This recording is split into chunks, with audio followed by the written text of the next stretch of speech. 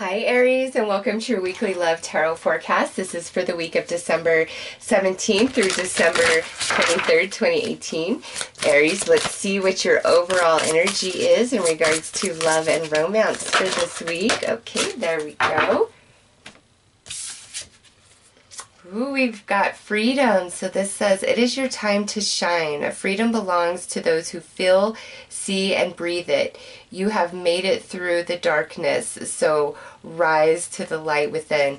Aries, this is just a good week for love and romance for you guys in general with this card. It's like, you know, um, even if you're single and that doesn't change this week, it's like you're feeling okay about that. If you and your partner have been on the outs, it's like this week we're vibing again. Um, you're just, whatever's going on for you romantically, you're feeling good about it. It's not heavy, it's not challenging, it's like a lighter pace of things. So, whoa, it's like, and let's pull some tarot as I drop the whole deck.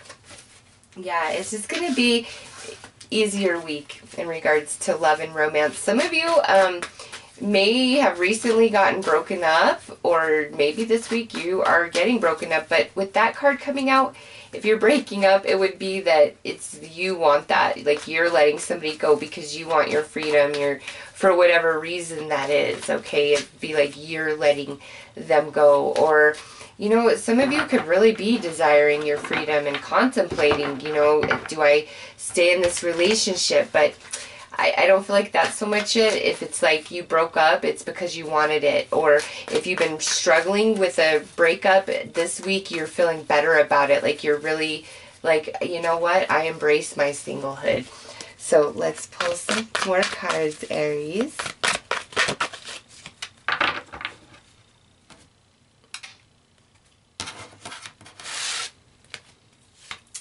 Okay, so over here we have the page of, I'm sorry, the Knight of Cups. Could be dealing with the water sign, Cancer, Scorpio, or Pisces.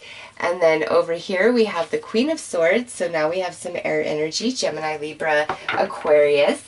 Um, Aries, what I see here is you're really vulnerable emotionally vulnerable, open, um, could be offering your cup to somebody. Um, you know, you're really putting your heart on your sleeve. And whoever you're involved with here, they're much more analytical than they are emotional. Like, even if they get really emotional about things, the way they process like romantic emotions is not on the same level as you. They're very intellectual about it, opposed to processing those emotions, you know, in their emotional body. It's more like when it comes to love and romance, it's just kind of a weird vibe for them, so they process it in their mind rather than allowing themselves to feel it in their heart and their soul. And Aries, you might be I feel like you're kind of talking to somebody about this, like you're telling them, listen, you've got to open up to me more. You've got to really trust in me. And, you know, they're not bad. They're very honest. Um, if you've put yourself out there to somebody and they haven't gotten back to you, it's more like they're in deep contemplation mode about it, Aries, really. And it's not a yes or a no. Like they're really like seriously considering it. If you are in a romantic uh, commitment and you know you've asked your partner for something or you want to take things to the next level they're really contemplating what you said. They're thinking about it deeply all right? It, it's not like it just went in one ear and like right out the other. So let's pull some more cards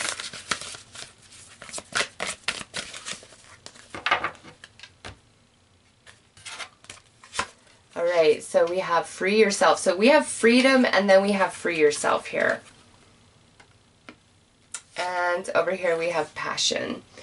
Okay, so Aries, listen, if you're really into somebody, but it's like they lack passion, they lack that fire, like you like their personality, you enjoy their company, you tend to have good times with them, but there's just not that fire, that friction, you know?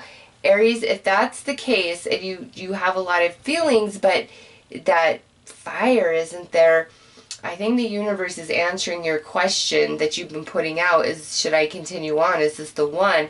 Aries, I don't think it is because um, you wouldn't be getting freedom twice here if that was the one. It's like they don't have the same energy as you. You know, you're showing as uh, cups, they're showing as air.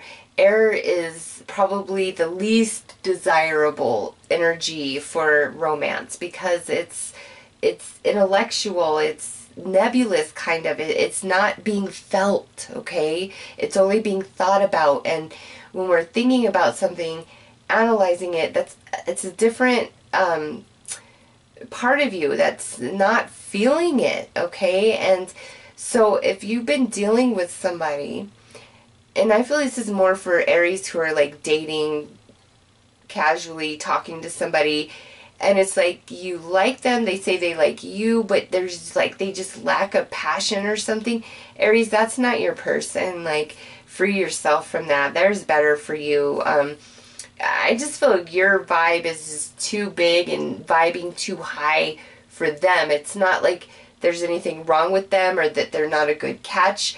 I just feel like if to be honest they're kind of boring compared to you.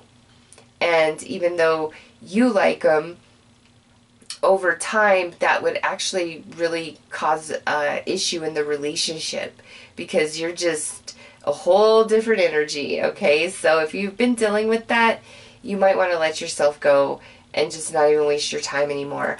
Um, other Aries out there, I feel like you kind of have given an ultimatum to somebody and it's like, look, either you get on board with this or we do this or we do that or it's game over. Like I, I can't keep participating or putting myself and energy and efforts into this because you're not giving back what I need or you're unwilling to go to the next level, take the next step, whatever it is.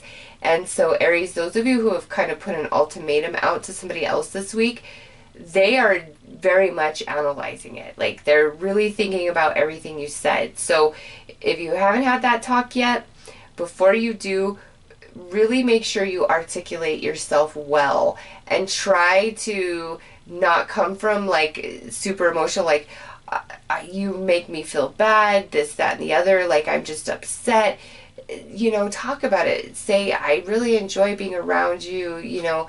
I really would like to take things to the next step because we've been dating for six months, or, you know, put facts out there to this person. Um, don't be super emotionally based in presenting your ultimatum to them um, because I don't feel like they'll respond well to that. But if you're more factual about things, like it puts them in this mode of you know analyzing weighing the pros and cons like they've got to come into a balance in themselves before they can give you any real decision so don't try to back them in a corner just say, look, this is what I need because I know myself. And um, if you can't do that, then we're not a match as much as I like you or care about you or as much as you like me and care about me. You know, we're not a, a match if we can't come to some sort of compromise on these key issues. Um, I'm not really getting much else with that, so let's pull some more cards.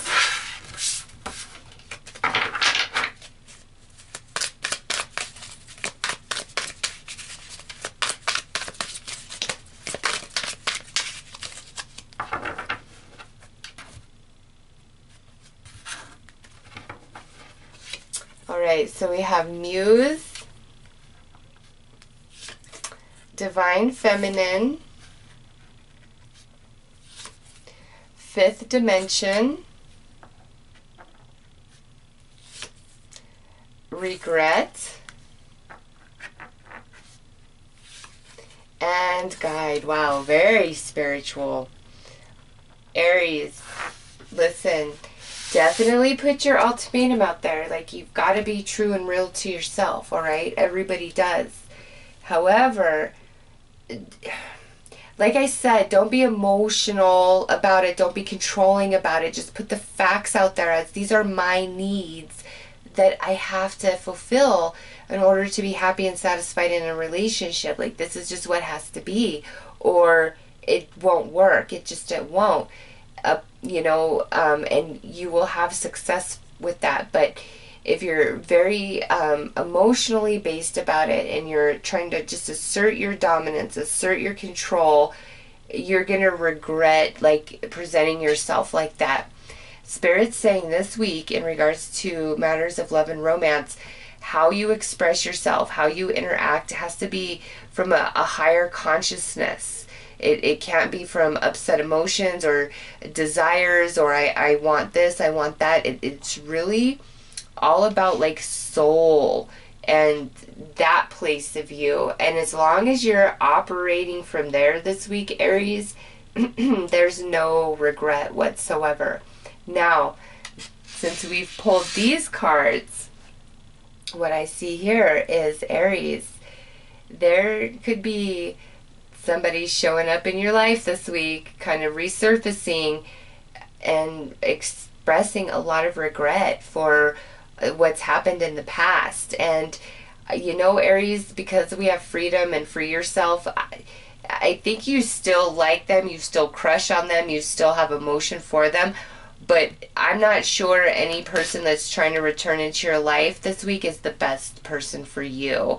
Even if they're really remorseful and sorry for the way things happened. Um, you've just changed, Aries, and there's, you deserve like this fifth dimension soul connection. And if you're not getting that, then it's not worth your time, no matter how much you like somebody or think you love them if you cannot feel them like you might feel them in this place, but if they don't feel you in this place, like we're not equally on board in the fifth dimension, it doesn't matter. Aries, it does not matter. It will not work. It cannot be one sided like that. So, you know, really pay attention to, to anybody that's trying to return back to you and, you know, is there viability?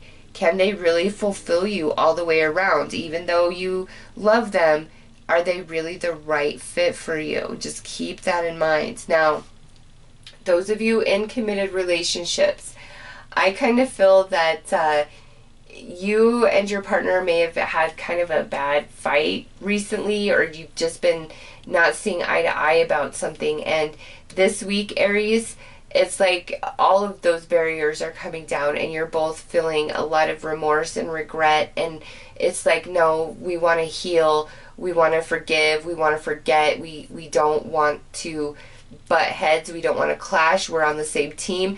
So those of you in committed relationships um, this week looks very healing. And you know if your partner is the one that's been uh, doing and saying hurtful things it's almost like they have uh, just this deep session of analysis within themselves where they just see their behavior and they're very sorry and they let you know it. Or if that's you aries where you know um, you are just in this analysis and you're like oh my god I, why have i been acting like this? Why have i been treating you like this? I'm so sorry. So those of you in committed relationships i feel like this freedom and free yourself is like let go of whatever happened and let's heal, let's love, let's mend, let's just move forward, okay? So, Venus is currently in Scorpio, and I'm going to pull a card to see what Miss Venus is offering for you this week while she's in Scorpio, because that's a very powerful, intense, transformational energy being offered to all of us. So, let's take a look, Aries. Affirm Say this mantra aloud I am successful in all that I do. By affirming and visualizing, you plant the seed for a positive outcome. Yeah, Aries, you know, those of you in the committed relationships, you guys are going to move through this hard time.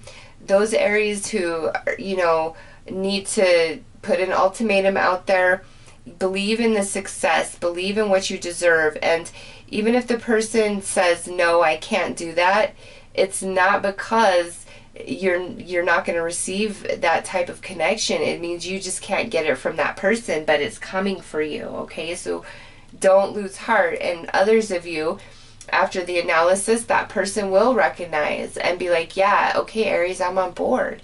It's all about your energy. And with Muse and Divine Feminine, Aries, a lot of people I feel are going to be attracted to you and your light. Um, very similar to the Pisces reading, where it's something about your vibe is really pulling people towards you this week. Over here on this side, illusion. Are you seeing this situation clearly from all perspectives? Trust your intuition as you look closely and objectively. Only then can you make your best decision. This is where I feel, um, you know, those of you in these committed relationships where somebody's feeling bad about their behavior or what they said or what happened the week before or the weeks before they're just feeling really bad and they have that you know coming to jesus where they just see things from a different perception and they're like you know what? I'm really sorry. I regret what i said what i did and let's move beyond this. So aries this week is uh, definitely interesting higher vibrations of energy, you just remember if it if they can't meet you halfway then it's never going to work ever ever no matter how much you love them and you deserve a fifth dimension connection. Do not settle for anything less than that okay? So those are your messages for this week and before i let you go i just want to let you know i'm going to be on heather's show tuesday december 18th 5 p.m pacific 8 8 p.m. Eastern. I have left a link in the description box. You can click on that link and it will take you right to the show. Otherwise, Aries, I hope you have a very fabulous week. Take care.